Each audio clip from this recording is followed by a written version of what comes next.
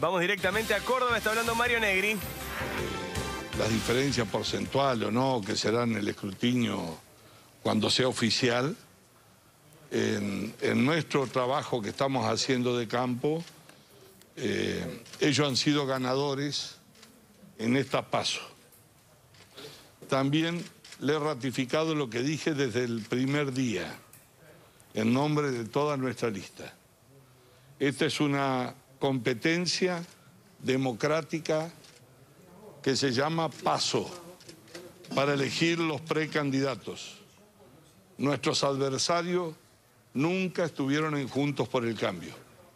Por eso nunca escucharon de parte nuestra, ni de nuestra voz, una agresión, ninguna situación de tensión.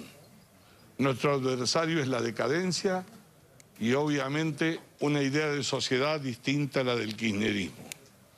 Así que le he ratificado lo que manifesté desde el primer día, como corresponde a las personas que son demócratas.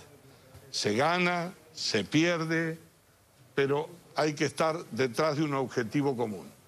El objetivo común es una responsabilidad de todos, no solo de los que ganan y menos aún de los que pierden. Así que le he manifestado nuestra predisposición, nuestra decisión.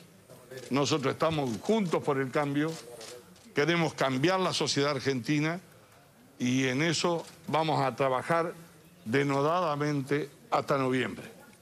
Personalmente, eh, creo haber cumplido con lo que mi partido me pidió mayoritariamente y a todos los integrantes de la lista y agradecerle a los integrantes del PRO que nos acompañaron y agradecerle a toda la coalición cívica.